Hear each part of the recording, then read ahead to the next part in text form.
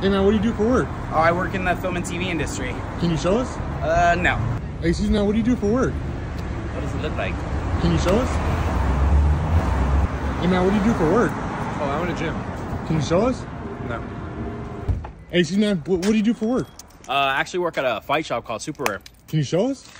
Uh, yeah, I'm on my way right now. Let's go. Yeah, come on in. Yeah, man. So this is our glove. This is our glove wall. Uh, we got everything from like Superare, Rival, Cleto Reyes. This is our famous shirt wall, man. We got all exclusive stuff. Only sold at Superare.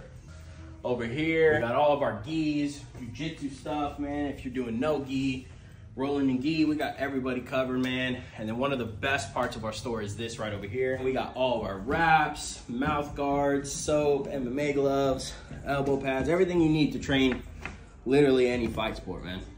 So can I get a discount when I come in? No, dude. Yeah. I got I gotta go to work, so thanks, man. Go ahead and